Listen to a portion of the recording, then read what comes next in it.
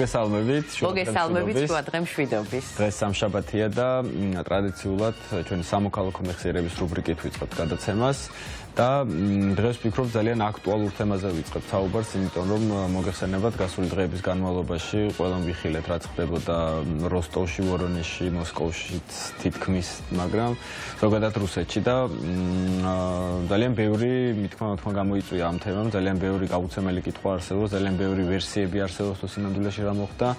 ძალიან ბევრი ადამიანს ზოგადად არ აქვს ვერსია თუ რა მოხდა სინამდვილეში. და სინამდვილეში პრინციპში არც ვიცით რა მოხდა. კი, და შეიძლება ამ კითხვაზე პასუხი ვეძიოთ წარსულში, კერძოდ დღეს საუბრობთ 1991 წლის აგვისტოს პუჩზე, იგივე გადატრიალების მცდელობაზე. მაშინ ჯერ კიდევ საბჭოთა რუსეთი იყო და ძალიან ბევრი პარალელის გავლება შეიძლება სინამდვილეში ამ ისტორიულ ფაქტთან და იმ მოვლენებთან, რაც გასულ დღეებში ხდებოდა რუსეთში. დროა გადავიდეთ თქვენი ჩვენს თანაწამო ზაზაბიბილოსთან მოგესალმებით. მოგესალმებით და სტუმრად ყავს რამაზ ხატიაშვილი. მოგესალმებით რამაზ, მადლობა რომ ჩვენთან ერთად. თარგმნელი ჟურნალისტი, ჩვენ თანამშრომელი. მელომანი და მუსიკოსი.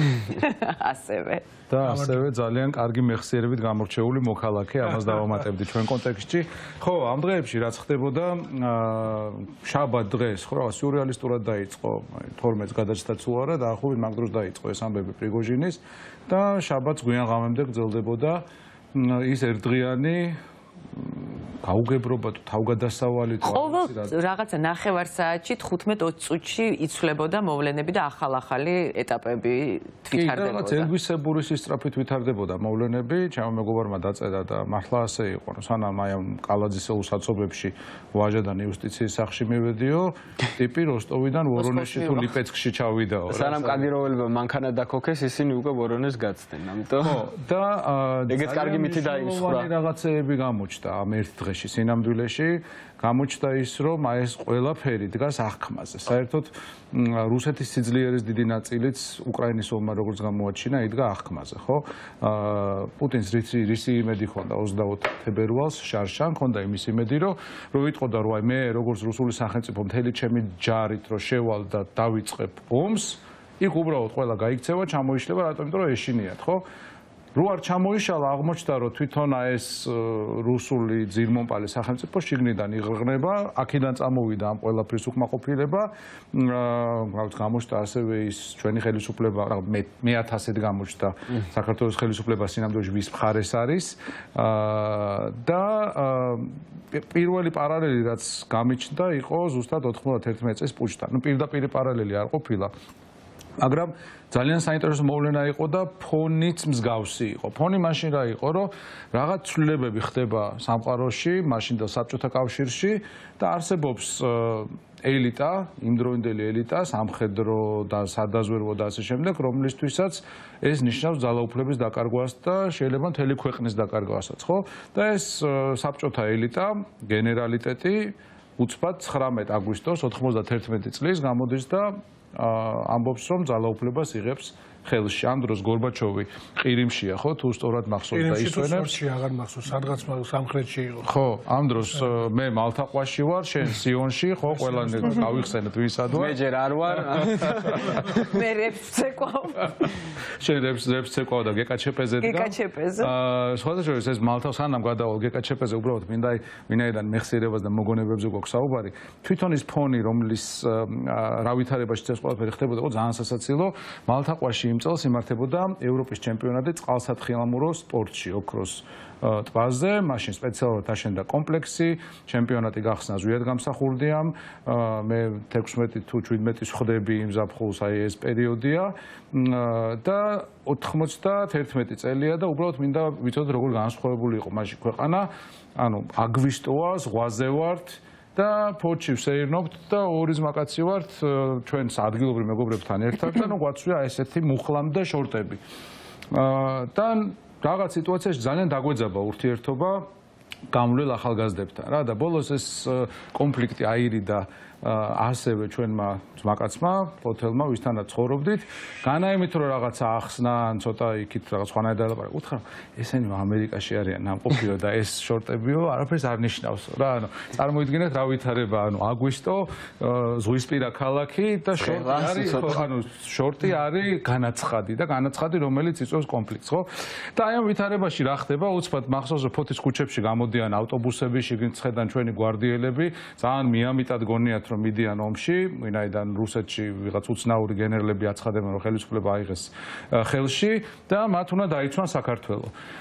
აა ამ დროს შენ ხარ ამ დროს მე ვარ სიონში. სიონში და მოყევი რა გახსოვს? გამსახურდია იყო ყაზბეგში, თუ სწორად მახსოვს, მაგ პერიოდში. მე მახსოვს რომ გამსახურდია საკრიტიკებდნენ მაგ პერიოდში, გეკაჩეპე როდესაც გამოვიდა პირველი პრესკონფერენცია როცა გამართეს, თქვენს რომ ყველა ესე იგი შეიარაღებული სამხედრო და სამხედრო ორგანიზაცია რომელიც არსებობს არა საბჭოთა კავშირზე დაქვემდებარებული უნდა გაუქმდეს და იმ პერიოდში თუ არ ვწდები ის ვიარ გამსახურდიამ დაუქვემდებარა ეროვნული გვარდია შინაგან საქმეთა სამინისტროს. რაღაც ეგეთი რაღაცა და ამის გამო აკრიტიკებდნენ რომ დაემორჩილაო გეკაჩეპეს ბრძანებასო. აი ეს მახსოვს აი რაღაცნაირად ჩამჩეს უშო ეგ არის ძალიან საინტერესო ნიუანსი და პირდაპირ ეხმიანება სხვათა შორის ჩვენი ჭtildeოელი მეგობრების წყალებში დღევანდელ პროპაგანდისტულ მიდგომებს. რატო? იმიტომ რომ ნახე მაშინ რა გააკეთა? გამსახურდია ეს იყო გვარდია რომელიც თვითონ მან შექმნა და გვარდია რომ არ გადაიყვანა დაუშვათ შინაგან საქმეთა სამინისტროს დაქვემდებარებაში რა სიტყოდნენ ბიჭები შეახოცა. ან ბიჭებს ბიჭები გაწირა ხო? გადაიყვანა შექმნეს ეს მითი, რომ ნახე დაემორჩილა გეკაჩეპეს. ანუ ორივე შემთხვევაში რაღაც შარს მოგდებდნენ, ხო? იმისი არ იყოს ახლა 2008 წლის სიტუაციაში რო უყურებთ ომს, ხო? ცხინვალში გეუბნები. საბაშხო ცეცხლის გახსნაზე იყო, მადლობა. რა საბაშხო ცეცხლი რატო გაუხსენითო? არა, მაშინ არავის არ გაუხსნიათ, მაშინ იყო უბრალოდ დაქვემდებარებაში. აა, მაგ დაქვემდებარებაში ხო, მაგრამ ერთ-ერთი კრიტიკის საგანი იყო, რომ რატო გაუხსენით ცეცხლიო, მაშინ როდესაც გესროდნენ. ეგ ეგ ეგ მომენტიც იყო. მე მახსოვს, რომ სროლა დაიწყეს, რა თქმა უნდა, სეპარატისტულად განწყობილ. არა, არა, ეს ეს ცოტა მე მგონი ის არ იყო რა ქვია თვითონ გეკაჩეპეს ამბავში ეს აქამდე არ მისულა. მაგრამ აქამდე არ მისულა ხო 2008 წელს აი მაგალითად მასში რა ქვია ცხინვალში რას გეუნებიან რუსები და რუსული ძალები და რუსული პროპაგანდისტული მოლაპარაკეთავები გეუნებიან რომ ვისეუნე ვისეუმები ბიჭო ვისეუმები და კოდორში და ახალგორში გეუნებიან უომრად რაპონჩი დანებდი, უომრად რაპონჩი ჩააბალე, ხო? აი წარმოიდგინე, ესე იგი, აი კოდორსა, ცხინვალსა და ახალგორს შორის რამდენი კილომეტრია სხვაობა გვერდი-გვერდ არის, ხო? გვერდი-გვერდ ხეობებში და ორ ურთიერთგამომრიცხავ არგუმენტს იყენებენ და დაახლოებით მსგავსი რაღაცა იყო, დაუშვათ მაშინ მითი იყო იმგვარი, რომ აი გამსახურდია არის რადიკალი ნაციონალისტი სისხლისღვრა უნდა და ამ დროს გადადგა ნაბიჯი რომელიც იყო ზუსტად იმისკენ მოწოდებული სისხლისღვრა არ ყოფილიყო. რა ვიცი საბოლოო ჯამში რა მნიშვნელობა ქონდა იმ ვითარებაში ხო ეს გვარდიას ფორმალურად რა სტატუსი ქონდა გადავიდა შესაძლო დაქვემდებარებაში დაკმაყოფილებულად ჩაითვალა ეს ეს მოთხოვნა როდესაც შეიძლება მართლა სიცხლიური საწინდარი ყოფილიყო მაგრამ მაგორდა ეს თემა ხო? რო გეკაჩეპეს ხარეზე გადახვედი. გადავიდა გეკაჩეპეს ხარეზე ხო ეს ამაზე მე ახალგაზრდა ვიყავი მაშინაც ამოვეგე ამ იმას. და მახსოვს რომ მეც ვაკრიტიკებდი ხოლმე.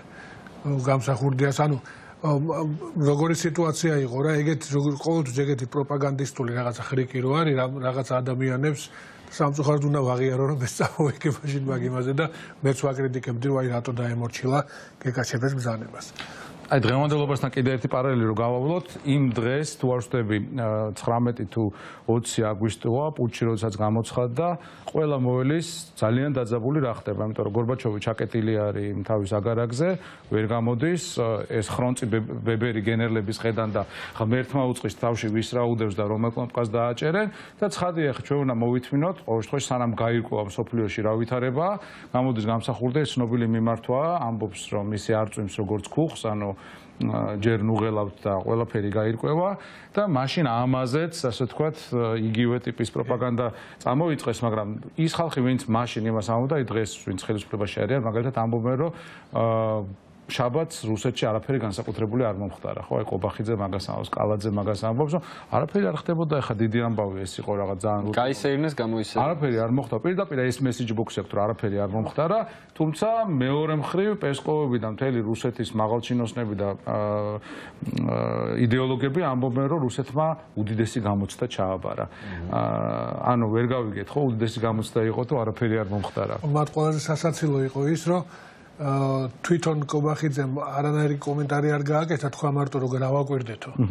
და მეორე დღეს გააკრიტიკა ოპოზიცია რომ თუ იმის ჭკუა არ ყოფნისო რომ ანალიზი გააკეთო გაჩუმდი მაინც. ანუ ფაქტიურად ირიბად თავის თავზეს თქვა რომ ჭკუა არ იყო თვითონ და იმერო გაჩუმდა წინა დღეს, ხო? ეგრე ხო, ნუ შაბათ ჩვენ ხელისუფლებას უბრალოდ არის ხელისუფლება არიწოდა რომელ მხარეს დამდგარიყო, რა ხდებოდა მათ თავს და ბევრი საზრით რაღაც უსამართლოდ იჭყლიტებოდა. ხო, გამაგებინეთ ვინ არის. თან მე პრიგოჟინთან თუ გახდებოდა მისატმასნი ხე რაღაცა გზებიც დაიტოვეს რა თან. ეხა საინტერესო პუჩზე რო გადავიდეთ ისევ აი ამ რამოდენიმე დღის შემდგომ რა ხდება? ხო, ეს იყო გამსაზღვრელი რამდენიმე დღე საბჭოთა ისტორიაში. და ვიმეორებ, აი პარალელი იმიტოა თანამედროვეობასთან და დაიწყეთ რუსეთის სიძლიერის განმარტება, ხო, აღქმაზე იყო ყველაფერი. საბჭოთა კავშირშიც ეგრე იყო მაშინ, ყველას ეგონა რომ უძლებელია ეს ქვეყანა, ნუ ხა რამ უნდა დაანგრიოს. ბევრად უფრო ძლიერი იყო ის საბჭოთა კავშირი ვიდრე დღევანდელი რუსეთი ყოველ მხრივ იქნება ეს ეკონომიკა, დემოგრაფია, სამხედრო ძალა, ნებისმიერი მიმართულებით. ვირტუალური იარაღი მაშინაც ჰქონდათ, უფრო მეტი ჰქონდათ კიდე. მეტიც ჰქონდათ და მე მგონი მაშინ უფრო მოვლილიც ჰქონდათ. ხო და კიდე საინტერესო არის, სულ მაინტერესებს ხოლმე შეკითხვა, აი ბალტიის პირეთის ქვეყნებმა როგორ მოახერხეს მაინც და როგორ დააღწიეს ბევრად უფრო უკიდეულოდ თავი ვიდრე თქვათ დანარჩენმა ქვეყნებმა. ბალტიისპირელებმა გამოავლინეს, არ შეიძლება მე ვწდები ახლა, მაგრამ ბალტიისპირელებმა გამოავლინეს შესაშური თანმიმდევრულობა.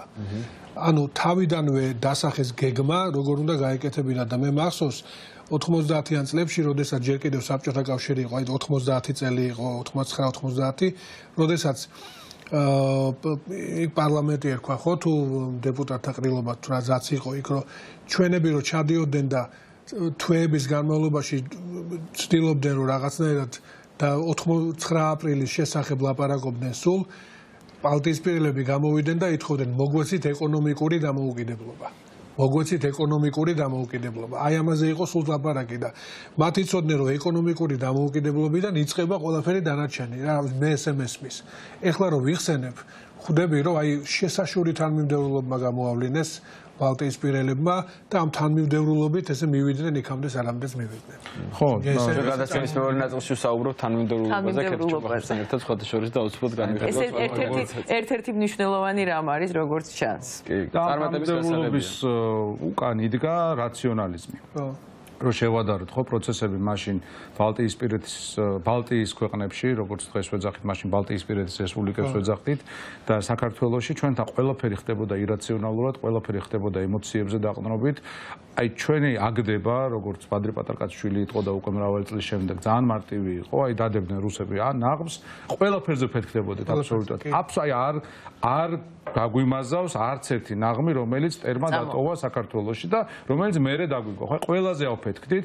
ბალტიისპირელებმა ამავე პერიოდში, როგორც ამაზმა თქვა, ეს პროცესი განვლეს ძალიან რაციონალურად, დინჯად, სხვათა შორის სტერეოტიპული ანეკდოტები ხო არსებობს და იგივე ესტონელებზე მაგალითად ანეკდოტები ძირითადად იმ თემაზე როგორი უემოციოები არიან როგორი იუმორი რო არა აქვს ეს მათთვის იმ ვითარებაში აღმოჩნდა ძალიან დიდი ანუ აქტივი პლუსი იმიტომ რომ არაფერზე არ წამოვიდნენ არაფერზე არ ავარდნენ და ამას ალბათ ის წინაპირობაც ჰქონდა რომ ეხლა რა ვიცი ჩვენ ასეთ რეგიონში ცხოვრობდით ასეთ რეგიონში გავატარეთ ასწლეულები და იქ ეხლა იმავე ასწლეულობის დროს ტევტონები ანუ გერმანელები იყვნენ ხო? ესტონეთში და ლატვიაში ასწლეულობის განმავლობაში რაც გერმანელები ან შვედები იყვნენ. ორივე ძალიან რაციონალური ამპროცესული ხალხია და ცისხლიანობად გამოირჩევიან მე ესე ვიტყოდი. ხო და რომ მოვყვეთ ესე იგი რა მოხდა სინამდვილეში? ამ პუჩის შემდეგ და ამ პუჩის დროს ძალიან ბევრი ხალხი გამოვიდა ქუჩაში, რაც ძალიან იშვიათი არის იმ ქვეყნისთვის. ეხლა რომ გადავავლოთ ისტორიას და ვიცით პროტესტი, არ ვიცი, მე პირადად მაგის მერე მე მგონი არ მახსოვს რუსეთში ესეთი რაღაცა მასიური პროტესტი რო ყოფილიყო, არა? ხო მე, არ არ არ მეთანხმები. აი ის თემა წამოვიდა ეხლა ისევ რომ როგორი სხვანაირები იყვნენ რუსები მაშინ და როგორი სხვანაირები გახდნენ დღეს, რაღაცნაირი მორჩილები გახდნენ. აი მაბადიათ ამ ჟარგონისთვის დაჩმორებულები რაღაცნაირები რომ არაფერზე პროტესტი არ აქვთ. და მაშინ სხვანაირი ხალხი იყო მაშინ ელცინი იქიდან ელცინი ყო მეც მაშინ 87-89 წლებში ჯარში ვიყავი მე. და ეს ამ ცვლილებებმა საბჭოთა ჯარში. და ამ ცვლილებებმა 87-დან დაწყებული 88-89 პერესტროიკა რო უკვე გადაიზარდა იმაში რომ ყველა რომ ხმამაღლა ლაპარაკობდა იმას რაც ადრე აკრძალული იყო იმ იმ პერიოდზე გადაიარა და ჩემ გარშემო სურუსები იყვნენ. სამი ქართველი ვიყავი 4 4 ქართველი ვიყავი არხანგელსკში. და ჩრდილოეთში. 4 ქართველი ვიყავით სულ დანარჩენი სურუსები იყვნენ. ну რამდენიმე აზერბაიჯანელი და ეს რუსები იმდენად იმდენად აი თანამედროვეც საუბრობდნენ, რომ ფიქრობდი რომ რანაირად არის ეს ხალხი მზად ამ ყველაფრისთვის. და სოყოველთვის მეგონა რომ რუსეთი გაცილებით უფრო ადრე მიაღწევდა ევროპულ განვითარებას, ვიდრე ჩვენ. და საბოლოო პირიქით გამოვიდა, რომ ჩვენ უფრო ადრე მივაღწიეთ ევროპულ განვითარებას, ვიდრე რუსებმა. ისინი დაბრუნდნენ საბჭოთა კავშირში ისევ. და აი ელცინმა თავარი რა არის რომ აი როდესაც საბჭოთა კავშირი დაიშალა, ჩვენ ახმაში დაიშალა რაღაცა ქვეყანა, რომელსაც ჩვენ ყავდით დაპყრობილი, ხო, დამონებული. რუსებისთვისაც ეგ იყო, მაშინ მათთვის საბჭოთა კავშირის დაშლა ნიშნავდა რაღაცის განთავისუფლებას, ტოტალიტარიზმისგან და ასე შემდეგ. მერე პუტინი მოვიდა, ისე მიბმადა ის. ის ლეგენდარული სიტყვა რო თქვა ის, რომ საბჭოთა კავშირის დაშლა იყო ყველაზე დიდი ტრაგედიაო თუ რაღაცა გეოპოლიტიკურიო, მთელი რუსეთი ამას წამოეგო. და მთელი რუსეთი უცბად გადაიქცა სხვანაირ საზოგადოებად. გადაიქცა საზოგადოებად, რომელიც ნანობს უკვე, რომ ის ტოტალიტარული ქვეყანა დაიშალა. და თავის თავს აღიქვავს იმ საბჭოთა კავშირის სამართალმემკვიდრედ. ან რუსი პრინციპში აი ჩაოლებრივი რუსი თავის წინაპრად ჩვენ როგორც ვამაყობთ კაკუცა ჩოლოყაშვილით, ისინი ამაყობენ ლენინით რა. ანუ საპირისპირო ბანაკებში ვართ. კი და ფუჭი ამბიციები ჩამოყალიბდა ცალსახად ახლა ეს კი გეთახმებით იმაში რომ სამართალმე მკვიდრი არის და აქვთ იმის ამბიციები რომ დაბრუნდეს საბჭოთა კავშირი თუმცა ეს ამბიციები არაფერზე არ არის დამყარებული. იმ კორუფციის გათვალისწინებით იმ ეკონომიკური მდგომარეობის გათვალისწინებით რაც რეალურად მხოლოდ ნავთობზე არის დამოკიდებული და ძალიან მადვილად манипуლირებადი არის საბოლოო ჯამში რაც ნახეთ ამ სანქციების კვალობაზე ხო რეალურად იმიტომ რომ თუ გადაწყვიტა ევროპულმა ხარემ რომ რაღაცა გადაუკეთოს რუსეთს ნავთობიდან შემოსავალი აქვს ამის შესაძლებლობა ხდება და იყენებენ კიდევაც. ამიტომ ხედავთ რა სიტუაციაში დღეს მე ყველა რესურსი ამოლევადია საბოლოო ჯამში არ არსებობს რაღაც უძირო რესურსი და ამიტომ კი, აი გეთახმები აბსოლუტურად, ზუსტად ეს გამოჩნდა 91 წლის პუჩისას და ეს გამოჩნდა შაბათს პრიგოჟინის რაც რაც მარში დავარქვით. მოკლე მოკლევადიანი მარში. გამოჩნდა ის, რომ უცებ პუტინმა დაიწყო მოსკოვთან გზების და ტრასების გადათხრა. სამოქალაქო ტექნიკით ხაზნა გავუშვათ კადრები. ანუ ხო, ანუ როგორ როგორი დონის შიშია, როგორი დონის საკუთარ თავში დაურწმუნებლობაა, ტიპები გვეუბნებიან, რომ სოფლიოში ყველაზე მაგარი თუ არა მეორე არმია ყავდათ. წელიწად ნახევრის წინ და როგორც ამ დღეებში ხუმრობა დაიწყო, უცებ აღმოჩნდა წელიწად ნახევრის თავზე თავად რუსეთში ყავთ მეორე არმია და არა სოფლიოში, ხო? აა იმ გეკაჩეპედან, ანუ 91 წლის პუჩიდან 5 თვეში საბჭოთა კავშირი დაინგრა. ოფიციალურად დაინგრა. ამ დანგრევაში ძალიან დიდი როლი ითამაშა ზუსტად იმ უძლეველობის მითის ჩამოშლამ, რომელიც მიუხედავად დამარცხებისა გეკაჩეპეს სამადღებს შეასრულა. ამ შემთხვევაში პრიგოჟინი ერთდღიანი ავანტურა იყო, და კოცები იძახიან რომ რატო ბალეშიკობდით არავინ ჭყუატყოფელი ბუნებრივია პრიგოჟინს არ ბალეშიკობდა და მის ხარეს არ იყო. ჩვენ ვიყავით ჩვენი მტრის ქვეყანაში არეულობის მომხრე. რაც ნიშნავს იმას რომ უკრაინა გამოიმარჯვებს უფრო მალე ვინაიდან ისედაც გამოიმარჯვებს რაც ნიშნავს იმას რომ თავად რუსეთში გაძლიერდება დაპყრობილი ხალხების ბრძოლა თავისუფლებისთვის და ასეთი ბევრი ყავთ იქნება ეს თათრეთი, ჩtildeო კავკასია თუ კიდე სხვა. ჩემი ჩემი ერთ-ერთი ოცნებაა, რომ იგივე კალინინგრადში, რომელიც 100%-ით რუსებით არის დღეს დასახლებული, თვითონ ეს რუსები მიცემენ ერთ ჩვენ ერთ დღეს ხმას იმას, რომ შეუერთდნენ ისევ გერმანიას და გადაირქვან სახელი კენიგსბერგად. ან ბოლო-ბოლო დამოუკიდებლობა გამოაცხადონ.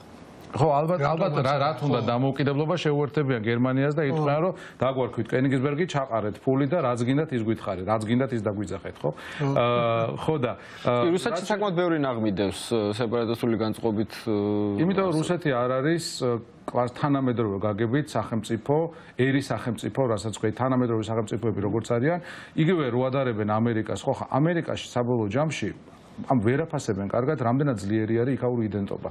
ემიგრანტი ვინც ჩადის, მეორე თაობა უკვე არის სუფთა ამერიკელი, რომელსაც აქვს ძალიან მყარი ჩამოყალიბებული ამერიკული იდენტობა. ჩვენ შეიძლება ის მივიღოთ, არ მივიღოთ, გავაქილიკო, ზოგმა თქვას რომ მუხა უდგას, მუხა თუ ჭადარი უდგას ეზოში, მაგრამ ის არის რეალური, ის არის ძლიერი და მას არ ემუქრება ისეთი ტიპის საფრთხე, რაც ემუქრება რუსეთს აი ესეთივე პირველივე პატარა კრიზისისას. და გულწრფელ ღირებულებებზე დგას ეგ არის მნიშვნელოვანი, იმიტომ რომ ღირებულებათა ერთიანობა არის საბოლოო ჯამში ის იდენტობა, რაც ამერიკაში არის. კარგი მაგალითი არის ამერიკა მაგის, რაც იგივე რუსეთში და სხვადასხვა ესეთ ქვეყნებში არ არის რეალურად, იმიტომ რომ რაღაც ღირებულების გარშემო გაერთიანებული ნაცია არ არის. არის რაღაცა ჭყალებში იმპერიალისტური ზრახვებით გამოყვებილი ადამიანების რაღაცა ერთობა, რომელიც ძალიან როგორ ხედავთ, როგორ მალეთ ჩამოიშალა ამ დღეების განმავლობაში. და პირდაპირ ეხმიანება, რასაც რამას შენ ამბობდი წეღან, აი როგორ შეიძლება დაო 90-იანების დადგომამდე ხო ჯარში ასეთები იყვნენ და უცბად ასე შეიცვალენ. სინამდვილეში არ ვიცი შეიცვალენ თუ არა. მე მგონია რომ უფრო აი ეს გორბაჩოვის პერიოდი და 90-იანების დასაწყისში იყო ამოვარდნილი. ვინაიდან აი ისტორიკოსები, ეთნოფსიქოლოგები რო სწავლობენ რუსეთის ისტორიას, ყოველთვის ამბობენ რომ ყოველთვის ძალიან მყარი საფუძველი იყო დიქტატურის აი ეს მონღოლურ ურდოული სისასტიკის, არაცივილიზებულობის არ არის მოთხოვნა, შიდა მოთხოვნა თავისუფლებისთვის რუსეთში არ არსებობდა, ხო? იგივე როცა საუბრობენ ბოლშევიზმზე, ბოლშევიზმი, ანუ კომუნისტური იდეოლოგია, მარქსიზმი, სად შეიქმნა? შეიქმნა გერმანელების მიერ ინგლისში. ანუ ორ წამყვან ინდუსტრიულ სახელმწიფოში, სადაც კლასები რეალურად არსებობდა. და ამ იდეოლოგიამ გამოიმარჯვა სახელმწიფოში, სადაც ეს კლასები რაღაც ამ ფორმალურად არსებობდა, ხო? ძალიან პატარა იყო ინდუსტრია, ეკონომიკა განუვითარებელი იყო, ძირითადად ქვეყანა იყო სოფლის მეურნეობაზე აგებული და გამოიმარჯვა რატომ? იმიტომ რომ აი ზუსტად ეს ეთნოფსიქოლოგიური მომენტი იყო წინაპირობა იმისა, რომ საფუძველი ამისთვის არსებობდა და დღესაც ესეა, როდესაც პუტინმა 2007 წელს მიუნხენში თქვა, რომ საბჭოთა კავშირის დანგრევა ყველაზე დიდი გეოპოლიტიკური კატასტროფა იყო მე-20 საუკუნეშიო, ეს ზუსტად იმას ემყარებოდა, რომ რუსეთში შეიძლება ადამიანი იყოს მშიერი, შეიძლება არ კონდეს ტუალეტი და ჩეჩმაში დადიოდეს, ხო შეიძლება არ კონდეს ცხელი წყალი, კალინინგრადის ოლქი ვახსენეთ და ამას წინათ იყო ზუსტად ერთ-ერთი უცხოურ გამო გამოცემაში ამაზე ვრცელი გადაცემა რომ აი შუაგულ ევროპაში. კალინინგრადს რო ეძახიან ანუ კენიგსბერგის ოლქში ოდინდელ აღმოსავლეთ ევროპა პრუსიაში. ერთ-ერთ სოფელს თუ პატარა ქალაქს არ აქვს წყალი არის რაღაც საერთო აბანო სადაც უკვე თვეებია წყალი არ ყოფილა ხო? მაგრამ ამ ხალხისთვის უფრო მნიშვნელოვანია რომ მათი ეგო დაკმაყოფილდეს აი იმ რაღაც მითიური წარმატებით რომელიც ვიღაცამ მოიპოვა არ ვიცი სირიაში როცა გააგზავნეს იგივე ვაგნერის ჯგუფი. ან ვიღაც რუსმა სამხედრომ მოიპოვა როდესაც უთხრესო აი ყირიმი დავიბრუნეთ. არაფერია, იქნება უწყლოდ, იქნება მშიერი, იქნება უპოვარი, მაგრამ აი ამითი განიხორციელებს საკუთარ თავს. ეს არის ჩვენი ალბათ რაც ისტორიული უბედობა, რომ აი ამ ხალხის და ამ სახელმწიფოს მეზობლები ვართ და ძალიან მნიშვნელოვანია და ალბათ წავიდეთ და წავიდეთ. ძალიან მნიშვნელოვანია რა როგორც 91 წელს აგვისტოს პუჩი ისე აი შაბათის პრიგოჟინის ავანტურაც იყო ჩემი აზრით ერთ-ერთი საეტაპო დასასრულისკენ პლატფორმი დავარქოთ მაგას. ხო, ანუ დასასრულისკენ მიმავალი ნიშანი, რომელიც მიანიშნებს, რომ ეს იმპერია, რომელიც 100 წლეულობის განმავლობაში იქმნებოდა და იზრდებოდა, უახლოვდება თავის დასასრულს. ისტორიას აქვს თავისი ლოგიკა, ხო, აი რა ვიცი, რომის იმპერიაზე დაწერილა მესამე რაიხზე დაწერილი Rise and Fall, ხო, აი როგორ იქმნება ესა თუ ის იმპერია და როგორ სრულდება ესა თუ ის იმპერია და რუსეთის იმპერიის გაუგზელდა უბრალოდ რუსეთს. გაუგზელდა, მაგრამ აი შინამდე შორიდან რო შევხედოთ ისტორიული პერსპექტივიდან ო ისტორიული პერსპექტივიდან არა, ჩვენ გვეჭირდება. ვერი არა ისე კარგად მაგალითად როგორც რომის იმპერია, მან რაღაც. გვინდა რომ ყველა მოვესწროთ ამაზე რაღაცა ჩქარო. რო გავადრო, წარმოვიდგინეთ, თვითონ 91-ში დაიწყო გრევა, მე წამოყელყელავდა პუტინმა რაღაცეები იჩალიჩა, ვერ გაკაჩა და დაინგრე. ხო, ანუ საბჭოთა კავშირიანად თუ შევართ 100 წლიანი ისტორია გამოდის, სადაც ნუ ქონდა რაღაცა თავისი ძლიერის პერიოდი და ბოლოსში შეირყა და რო შეირყა ვიღაცამ ცადა, მაგრამ იქვე 30 წელიწადშივე ვერც გაუძლო რა. ფანშორ ზამასიანად რაღაც დოკუმენტური ფილმი ვნახე ამერიკელების გადაღებული, რომელშიც ლაპარაკობდნენ ზუსტად აი საბჭოთა კავშირის ბოლო წლებზე. და ერთ-ერთი პიროვნება იყო არ მახსოვს ვინ იყო რომელიც ამობდა რომ ჩვენო მაშინო სანქციები დაუწეს საბჭოთა კავშირს. აი განსაკუთრებით სამხრეთკორეული თვითფრინავის ჩამოგდების ამბავი იყო ხო? თოროტების იმპერია ხო? მაშინ დაუწესეთ სანქციები საბჭოთა კავშირსა და რაღაცა წლები გავიდა არაფერი არ ხდებოდაო რა განსაკუთრებით მაშინ იყო ეს ტალონები რომ შემოვიდა კარაკის და შაქარზე და რაღაც სკოლებში რომ გაძლევდნენ და არაფერი არ ხდებოდა და ფიქრობდით რომ როგორც ჩანს ეს არ მოქმედებს ეს სანქციები. რა ამ რუსეთსა მაგრამ მე ერთ ფაშად ჩამოიშალაო რა აი უცბად რაღაცა მომენტი დადგა რაღაცა რუბიკონი გადალახა ამ ყველაფერმა და ერთ სინამდვილე ძალიან რთული პროგნოზულად პროგნოზირებადი არის გავსი რაღაცა. კი აქვს თავის რაღაცა ნიშნები და წინასწარ მაგრამ უცბად შეიძლება ხვალ აი გუშინ შაბათს ვინი ფიქრობდა რომ რაღაცა მსგავსი მოხდებოდა ხო? ანუ შეიძლება ერთ დღეს რაღაცა დაიწყოს და უცბად სხვა სამყაროში გავიდოს მოულოდნელი სიხარული შეიძლება გვეწვიოს მე მაგას ვეძახი მოულოდნელ სიხარულს. მე მგონი ძალიან მოსაოდნელი იქნება ეს სიხარული. იმ თვალსაზრისით რომ ისტორიული ლოგიკა ძალიან ცალსახად მეანიშნებს იმაზე რომ ეს იმპერია თავისი სიკვდილის პირას არის ძალიან უპასუხისგებლო ავანტურა იყო. რბილად რომ თქვა ის რაც პუტინმა დაიწყო უკრაინაში წელიწად ნახევრის წინ და როდესაც ასეთ ომში ვერ იმარჯვებ ეს ნიშნავს, რომ უბრალოდ კი არ მარცხდები, ნადგურდები და ეს კლოუნი რო ყავთ, მედვედევი, იმათაც თავის კლოუნები ყავთ, ხო? მედვედევი რო არის და ტვიტერზე რაღაც ისულელებს დაწერს ხოლმე. იმან დაწერა, მაგრამ ამ შემთხვევაში ისულელი არ დაუწერია, იმან თქვა, რომ ჩვენ თუ უკრაინაში ვერ გავიმარჯვებთ, რუსები, მაშინ რუსეთი დაიშლება. ზუსტად ეს ხდება ჩვენი ხელისუფლება შევახსენოთ მაყურებელს, რომ პირველივე დღიდან ამბობდა, რომ სანქციები გამოსავალი არ არის, სანქციები პასუხი არ არის.